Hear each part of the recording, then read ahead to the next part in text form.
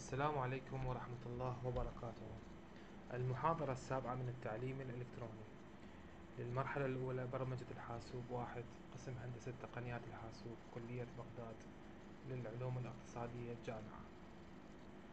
المحاضرة اللي فاتت آه، شرحنا على ال FLs السمبل FLs وبعدها انتقلنا إلى النيستد FLs من تكون عندي FLs متداخلة أكثر من FLs وانطيتكم مثال كان المطلوب من عندكم الحل أو التمرس عليه. والمثال مثل ما موجود قدامكم إنه يريد من عندي آه، أدخل الفد رقم معين وبالنتيجة النهائية أطبع اليوم اللي قابله. فإذا تنتبهون على هذا البرنامج اللي موجود قدامكم إنه عرفنا متغير اسمه D وهذا ال D من نوع integer. وراها سوينا cin لل D عملية إدخال. فإذا أدخل رقم واحد أو اثنين أو ثلاثة إلى سبعة وأكثر من سبعة. وراها جينا بال if استخدمنا الشرط مالتنا. قلنا له if ال D يساوي لنا واحد إذا يساوي لنا cout Sunday يعني بدأ من ال Sunday زين. هنا أكو فد شغله هذا يعتبر شكل المساواة. فهسه إذا أدخلنا رقم واحد مثلا فهسه ال D إيش قيمته؟ واحد. هل الواحد يساوي لنا الواحد؟ True إيش راح يطبع لنا راح يطبع لنا Sunday وبالنتيجة النهائية بما أنه لقى الشيء اللي يريده فراح ينفذ هذا السطر ويهمل بقية الأسطر. واضح؟ زين. بالنسبة الشرط الثاني كتبت إذا ال D يساوي لنا اثنين إيش راح يطبع لنا؟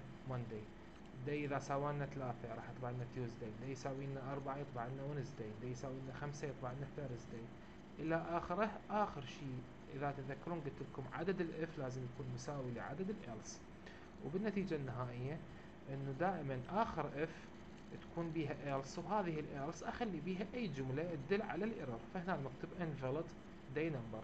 يعني في حال إذا الشخص أدخل رقم ثمانية أو تسعة أو عشرة فالمفروض يا يطبع له إحنا أكثر شيء عندنا رقم سبعة اللي يطبع لنا Saturday فإذا أدخل رقم ثمانية وصعودا فيطبع له invalid day number. فهسه على سبيل المثال أو على سبيل التجربة خلينا نقول أدخلنا رقم ثلاثة. راح يجي هل ال D اللي قيمتها ثلاثة يساوي لنا واحد؟ False. إذا ما ينفذ هذا السطر وراها هل ال D يساوي لنا اثنين؟ ال D قيمتها ثلاثة. هل الثلاثة تساوي لنا اثنين؟ False إذا ما ينفذ هذا السطر وراها هل ال D اللي هي ثلاثة يساوي لنا ثلاثة؟ True بما إنه true راح ينفذ هذا السطر شو راح يطلع لنا؟ Tuesday ويهمل البقية. وهكذا إذا أدخلنا رقم آخر. طبعا أكو فد شغلة كلش مهمة. إنه إحنا قلنا نهاية ال condition مثل ما تشوفون هذه ال if دائما يكون بها شرط. if بين قوسين ال D يساوي لنا واحد. نهايتها ما تكون أكو فارزة منقوطة فالمفروض هذا السطر ينكتب جواها وإذا ينكتب بصفها ماكو أي مشكلة. يعني بس مجرد للايضاح زين هسه أكو فد نقطة كلش مهمة. إنه الاف else تستخدم في موضوع المقارنات. إذا كانت عندي المقارنات التالية وانت يعني كلش مهم تركزوا لي على هذه النقطة. إذا كانت مساواة مثل اللي موجودة قدامكم أو إذا كانت لا مساواة هاي صارت شغلتين الشغلة الثالثة إذا كانت أكبر أو أصغر هاي أربع شغلات. وإذا كانت أكبر أو يساوي أصغر أو يساوي. ذني ست شغلات أقدر أستخدمها في موضوع المقارنات. يعني أقدر أستخدمها في موضوع ال if else قلنا نقدر نستخدم شيء آخر غير ال if else اللي هي تعتبر من ضمن موضوع ال selection statement إحنا هسه اخذنا أول موضوع بال selection statement اخذنا ال if else بس قلنا نقدر نستخدم شيء آخر. هذا الشيء الآخر اللي هو ال switch. قبل ما ننتقل إلى ال switch أريد أشرح هذه آه، المثال اللي يعتبر كلش مهم. هنا أنا عندي معادلة رياضية أو قبل المعادلة الرياضية يقول write a C++ program to compute the following آه، العفو to compute the value of z according to the following equation. يعني احسب لنا هذا البرنامج قيمة z بالاعتماد على المعادلة التالية. المعادلة شو تقول؟ تقول z يساوي لي عندي ثلاث حالات. الحالة الأولى x يساوي x زائد خمسة. الحالة الثانية كوساين ال x زائد أربعة. الحالة الأخيرة جذر ال x زين أكو شغلة كلش مهمة إنه قدامي خلى محددات. إذا ال x أصغر من صفر وإذا ال x يساوي لنا صفر وإذا ال x أكبر من صفر. هنا بما أنه عندي محددات فراح تكون عندي نقطة كلش مهمة. إنه آني مطلوب من عندي أدخل قيمة لل x فإذا أدخلت قيمة لل x أصغر من صفر فمعناها راح ينفذ ناتج عفوا ينفذ لنا ناتج المعادلة الأولى اللي هي x زائد خمسة وينطيها لل z وإذا أدخلنا قيمة لل x صفر فمعناها راح ينفذ لي هذه المعادلة. وإذا أدخلنا قيمة لل x أكبر من صفر فراح ينفذ لي هذه المعادلة الأخيرة. فبالنتيجة النهائية إنه راح ينفذ لي واحدة من هذه المعادلات بالاعتماد على قيمة ال x اللي أنا أدخلتها بس إحنا لما نجي نسوي برنامج لازم نخلي كل الاعتبارات اللي موجودة. زين خلينا ناخذ هذا البرنامج copy paste ونروح إلى برنامج آه Borland. برنامج Borland مثل ما تشوفون قدامكم. أجي أفتح نافذة جديدة هذه النافذة أكتب بيها الكود.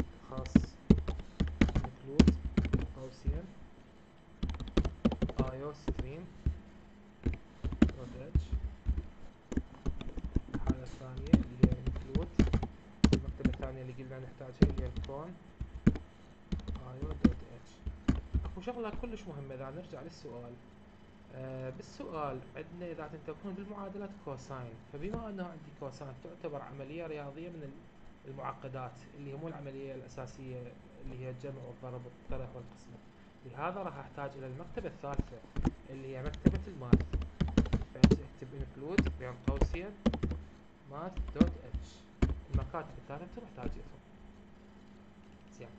هسه نجي أهم شغلة عندي دالة ال main اللي دائما تكون بالبداية قبلها لازم نجي نكتب قلنا كلمة void. void main. واكيد راح يكون لها begin و end هنا راح يكون عندي الكود اللي يوقف لي شاشة المخرجات الاسم ال getch هذا الكود اللي احتاجه إحنا اخذنا ال code copy paste نجي هنا نخليه copy paste زين. اجينا سوينا. أول شغلة عرفنا متغيرات اثنين. الأول قلنا integer z والثاني x. أهم نقطة بالموضوع إنه z عرفناه هنا capital letter اذا تذكرون مو small letter هذا small letter وهذا capital letter مشكلة تريد تعرفه small letter capital letter ما يأثر. وراها سوينا خلي نعوف هذا السطر هسه الثاني هلا نروح للسطر الثالث. سوينا عملية إدخال لل x إدخال قيمة لل x. فأما ادخلها أصغر من صفر أو مساوية الصفر أو أكبر من صفر وإحنا اتفقنا على فد شغلة دائما لازم تكون عملية الإدخال cin قبلها cout بس مجرد الإيضاح. فخلينا قبلها cout بهاي ال cout بين double quotation كتبنا enter x value يعني دخل أي قيمة لل x.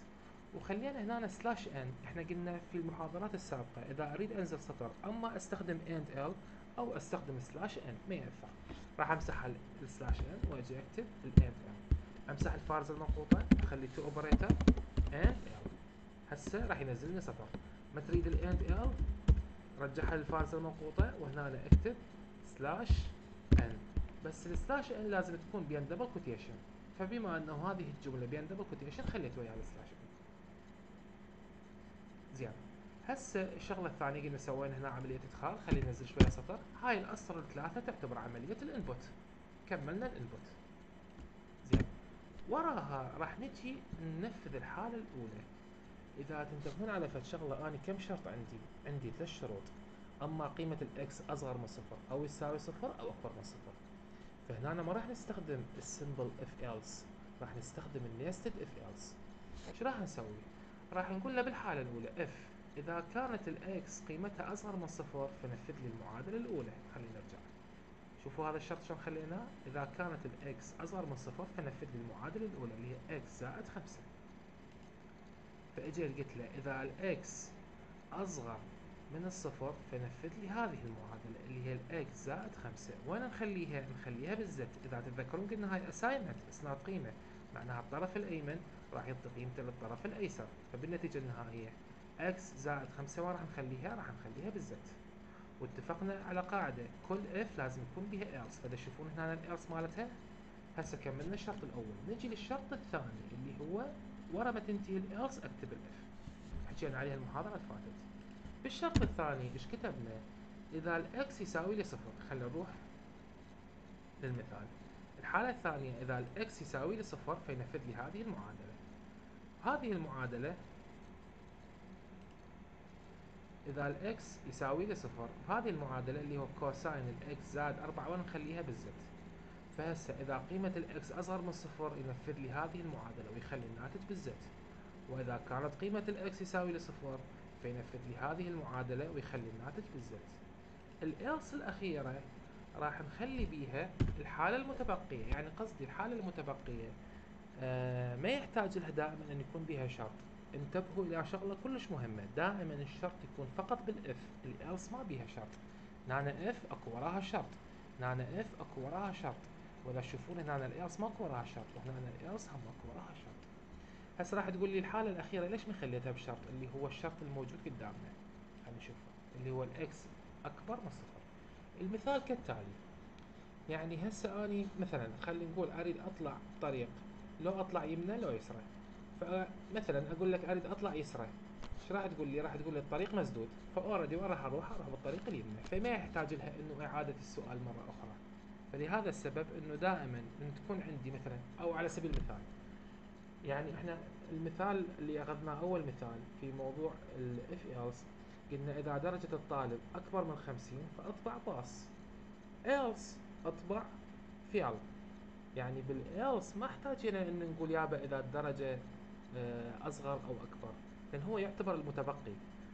يعني مثلا لما نقول إذا ال x أكبر من خمسين أطبع لنا pass. ما يحتاج نقول بال else إذا ال x أصغر من 50 أطبع لنا fail هو already إذا أكبر من 50 راح يطبع pass. وإذا مو أكبر معناها يروح للحالة الثانية المتبقية اللي هي ال else راح يطبع لنا fail فلهذا السبب إنه دائما آخر حالة ما يحتاج أخليها ب condition زين. بال else إيش خلينا؟ خلينا نرجع للسؤال. إيش دا يقول؟ تحت الجذر x تحت الجذر شلون نكتبها؟ إذا ترجعون للجدول مال الوحدة الرابعة نكتبها s q r t بين قوسين ال x وين نخليها؟ نخليها بال z فهسه الحالة كالتالي. لو ينفذ الحالة الأولى لو ينفذ الحالة الثانية لو يروح already للحالة الأخيرة. بكل الحالات لو يخلي الناتج هنا بال z لو الناتج هنا بال z لو الناتج هنا بال z يعني من هذه الحالات الثلاثة دائما ينفذ لي وحدة. وإذا انتبه على فد نقطة إنه هنا عندي if عددها اثنين إذا عندي else عددها اثنين. فإذا نفذ الحالة الأولى أو نفذ الحالة الثانية أو نفذ الحالة الثالثة بكل الحالات إنه الناتج النهائي صار عندي آه بال z فبالنتيجة النهائية أجي أخلي جملة طباعية أخيرة. طبعا أو أو قبل الجملة الطباعية. هذه الحالة تعتبر ال processing الشغل مالتي ورا ما أكمل ال processing راح نجي للحالة الأخيرة اللي هي الطباعة. راح أجي أقول له زت اس أو بزت ماكو أي مشكلة. بس z بس إذا تنتبهون على فد شغلة أنا مخليها بين double quotation وهنا ال z بدون double quotation بين double quotation معناها راح يطبع لي نفس الشكل مالتها. أما بدون double quotation فراح يطبع لي القيمة مالتها. زين. هسه خلينا ننفذ ونشوف البرنامج مالتنا يشتغل لو لا. أو نشيك إنه عندنا أخطاء لو ما عندنا. Alt F 9 ما عندي أي خطا وراها أدوس Control F 9 نفذ عندي هسه البرنامج ننتظر شاشة المخرجات يقول لي enter x value اللي أنا كاتبها لنفسي بال cout الأولى. هسه خلينا نقول القيمة اللي أريد أدخلها صفر مثلا. أريد أجرب هسه ولا صفر. أدوس صفر. وراها Enter. إيش طبع لي؟ طبع لي z يساوي لي خمسة. إذا نفذ لي هذه الحالة اللي تشوفوها قدامكم. إذا كانت ال x تساوي لي صفر. فجمع cosine ال x ويا أربعة زين خلينا ننفذ مرة ثانية. وندخل قيمة ال x أكبر من صفر اللي هي خلينا نقول مثلا أربعة. وندوس Enter فطبع لي z يساوي لي اثنين. لأن الحالة الثانية المن راح يروح راح يروح للمتبقي اللي هو square في ال x فراح ياخذ تحت الجذر الأربعة فيطلع لي اثنين. نروح للحالة الأولى هسه. في حال إذا كانت ال x أصغر من صفر خلينا ندخل مثلا سالب واحد. Enter طبع لي أربعة. وفق المعادلة الأولى اللي هي x قيمتها سالب واحد زائد خمسة فموجب بس آه، موجب وسالب فراح ياخذ إشارة الأكبر إضافة إلى فرق فراح طبعا لي أربعة.